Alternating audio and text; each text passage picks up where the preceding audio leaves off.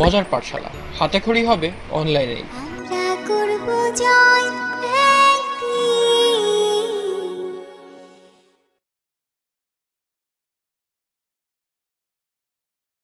প্রিয় শিক্ষার্থীবৃন্দগণ আমরা আজকে আলোচনা করব ব্যাংকিং ফিনান্স ব্যাংকিং এর মানে এগারো অধ্যায়ের দ্বিতীয় পার্ট অর্থাৎ অধ্যায়ের নাম ছিল ব্যাংকের আমানত। তো এই ব্যাংকের আমানতের যে হিসাবের যে প্রকার প্রকারভেদটা আমি গত পার্টে আলোচনা করছি যে হিসাবটা কয়েক ধরনের, এখন আমরা জানব যে হিসাব বিজ্ঞান, হিসাবের যে প্রকারভেদটা, অর্থাৎ আমরা কয়টি ভাগ, কয় ধরনের হিসাব আমরা ব্যাংকে খুলে থাকি, তো সেটাই। তো আমি বাম পাশে হিসাবগুলোর নাম লিখে নিয়েছি, তো সেটি আমি তোমাদের কাছে সংক্ষিপ্তভাবে আলোচনা করব। সেটা হচ্ছে চলতি হিসাব। চলতি হিসাবটা হচ্ছে ব্যাংকের এমন একটি হিসাব, যে হিসাবে হচ্ছে আমরা প্রতিনিয়ত, এমনকি যখন খুশি তখন ব্যাংকে জমা টাকা মানে টাকাগুলো ব্যাংকে জমা রাখতে পারব বা যখন খুশি তখন কিন্তু উত্তোলন করতে পারব।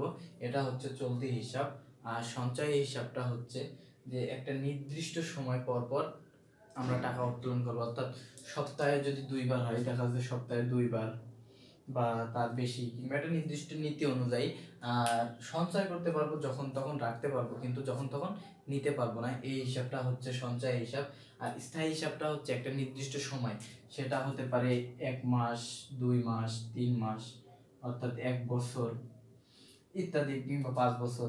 এই পাঁচ বছর পর পর উত্তোলন করতে হবে। এটা রাখা যাবে, একটা নির্দিষ্ট সময় পর পর রাখতে হবে এবং একটা নির্দিষ্ট সময় পরে এই টাকাটা উত্তোলন করতে হয়। এটি হচ্ছে স্থায়ী হিসাব। আর স্কুল সঞ্চয় হিসাবটা হচ্ছে একটু আলাদা। মূলত এই যে তিনটি হিসাব, চলতি হিসাব, সঞ্চয় হিসাব এবং স্থায়ী হিসাবটা কিন্তু সবসময় বেশিরভাগ ব্যাংকেই কিন্তু এই ধরনের হিসাবগুলোই চালু থাকে।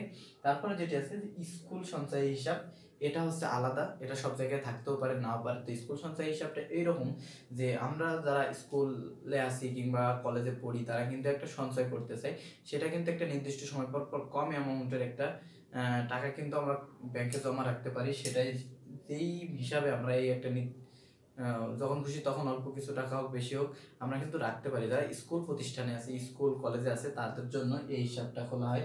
তারপর বলছে বিমা সঞ্চয় হিসাব। বিমা সঞ্চয় হিসাবটা কি?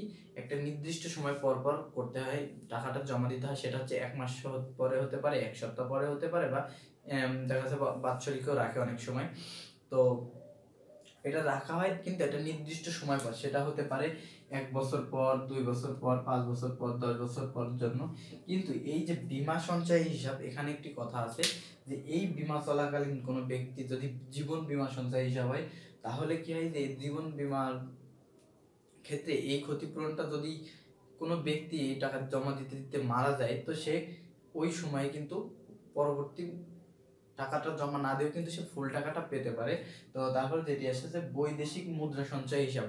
অনেকেই কিন্তু আমরা বাইরের দেশে যাওয়ার চিন্তা করি, অনেকে বাইরের দেশে যায়ও। তো তখন কিন্তু আমাদের অনেক বৈদেশিক মুদ্রা প্রয়োজন হয়। দেখা যাচ্ছে আমরা এক দেশে গেলাম, সেক্ষেত্রে কিন্তু আমাদের বৈদেশিক মুদ্রা, ওই দেশের মুদ্রা কিন্তু আমাদের প্রয়োজন হয়।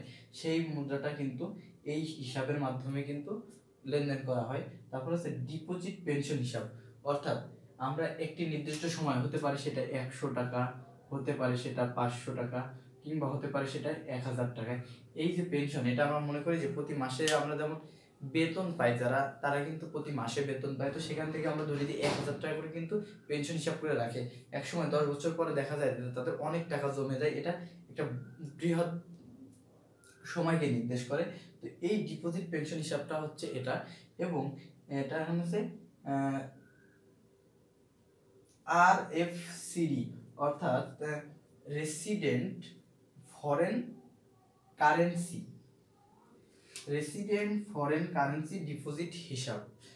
আমরা সংক্ষেপে বলতে পারি আর এফ সিডি অর্থাৎ এই যে হিসাবটা, এটা কিন্তু যারা বাইরের দেশে, বিশেষ করে বিভিন্ন দেশ ভ্রমণ করে, অর্থাৎ বিজনেসের জন্য, ব্যবসা করে থাকে যে বিভিন্ন দেশে, তাদেরকে কিন্তু প্রতিনিয়ত এই যে হিসাবটা, এই হিসাবটা কিন্তু সব ব্যাংকে থাকে না। অর্থাৎ ইন্টারন্যাশনাল ব্যাংকগুলোতে এইগুলো পাওয়া যায়, এই হিসাবটা।